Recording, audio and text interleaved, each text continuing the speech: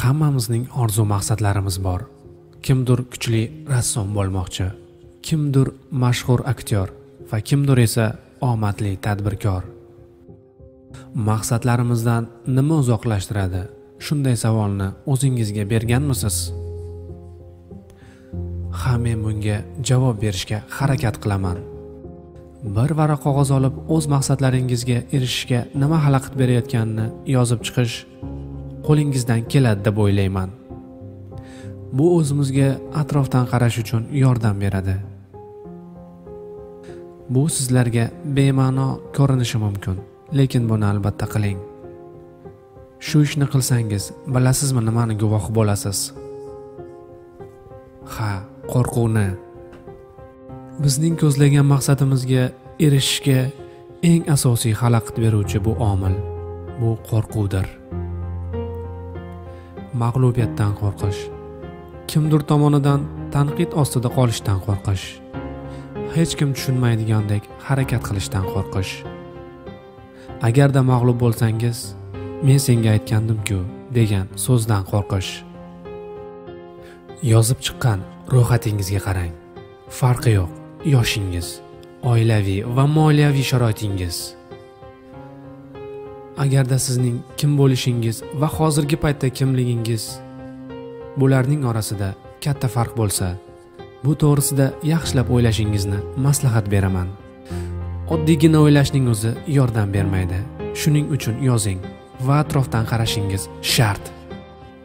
Va nihoyat tushuning qanchalar qo'rqoqligingizni. Qo'rquv bilan shunchalik bog'liqsizki u nima deb o'ylaydi bu nima deb o'ylaydi. Sezayapsizmi o'zingizdan qanchalar uzoqlashyapsiz? Hayotda qanday yashamoqchisizku va qanday yashayapsiz?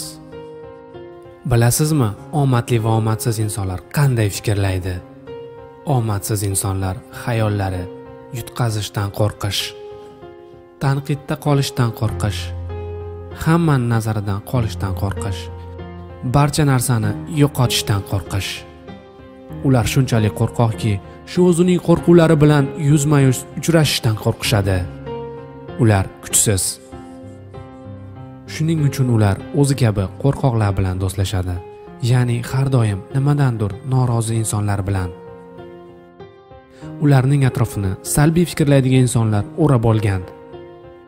Agarda ular uchrashib qolsa kasalliklar hech qanday imkon yo'qligi va qolgan gaplari esa boshqa insonlar erishgan yutuqlarini tanqid qilishdan iborat.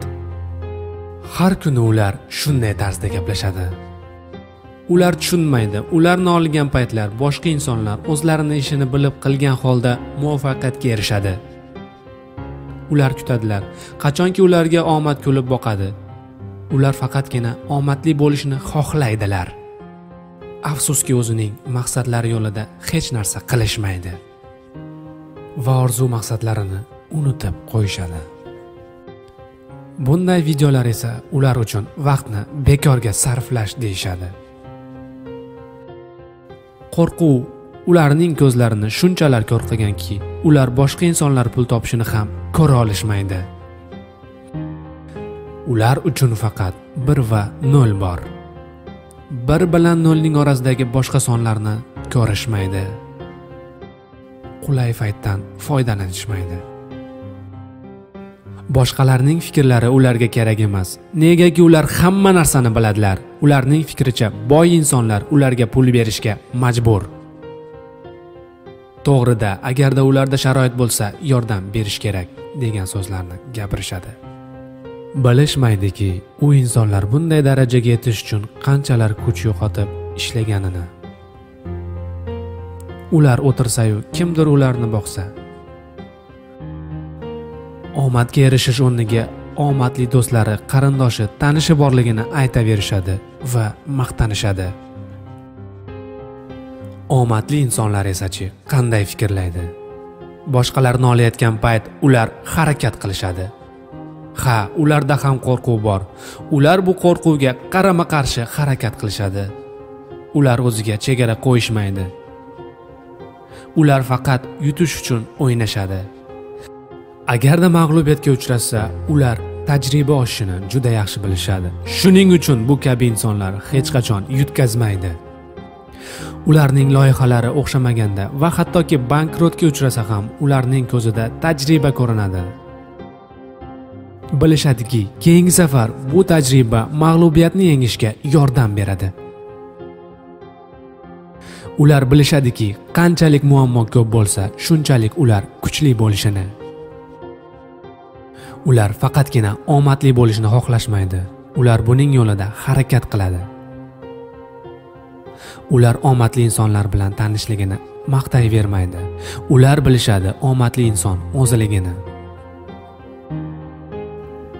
ular salbiy fikrlaydigan insonlardan uzoqlashishadi. Va o'zi kabi ijobiy fikrlaydiganlar bilan do'stlashishadi. Ular oxirgi natijani o'ylashadi.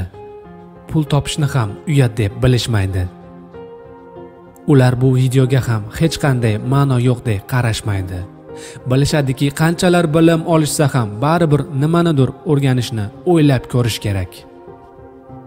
Ular boshqalarning fikrini eshitishadi va bilishadi oxirgi o'zlari tanlagan qaror to'g'riligini. Ular biladi hech kim ularning oldida biron nimaga majbur emas. Ularning o'zlari o'zlariga majbur.